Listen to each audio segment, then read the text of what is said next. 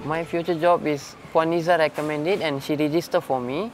It's easy for return to work program. Nama saya ialah Tiventran Nalagi Subramaniam. Saya bekerja sebagai cashier di Econsave Kampung Jawa. Untuk pergerakan saya, saya menggunakan kaki proses stick saya. Uh, Puan Gita and Puan Niza motivate me well and they give me many, I mean three vacancies like that. So I choose one and, and, and there I get the job. Perkeso RTW program yang tu yang bagi apa tu semangat untuk bekerja balik.